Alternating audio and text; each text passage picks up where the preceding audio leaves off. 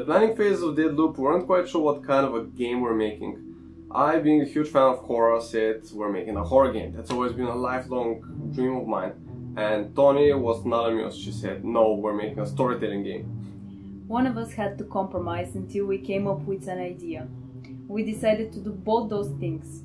Make a game in which the player can choose whichever he wants, a horror game or a story game. And that makes Deadloop stand out and we're extremely happy with the decision we made.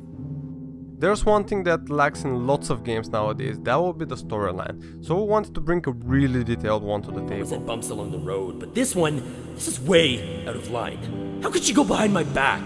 Now we spent months trying to make everything connect in the end. We wanted to have some plot twists here and there to make the player feel on the edge of his seat just by storytelling. So if we can leave you with some sort of impression after you quit the game, if we can make you think about what happened, that's that's our mission accomplished right there. I'm going insane.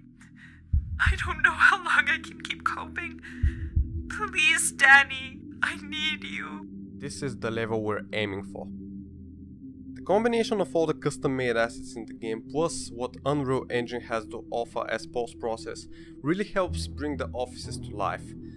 Now every single object you will encounter in this game, every single asset is made by us, so it will be a first time experience for your eyes hopefully a pleasant one. Open it.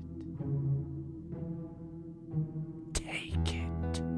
We will also be posting regular updates and development videos so you can have inside information on how the project is going and so you can feel as you're a part of the team. We've been doing that for a while now in our YouTube channel but we intend to do it more often. We may be inexperienced, but we're really willing to walk the extra mile to make it all happen. Um, with that we want to conclude this video, thank you so much for watching, your support means the world to us and if you could please share the video around guys, it will really help a lot.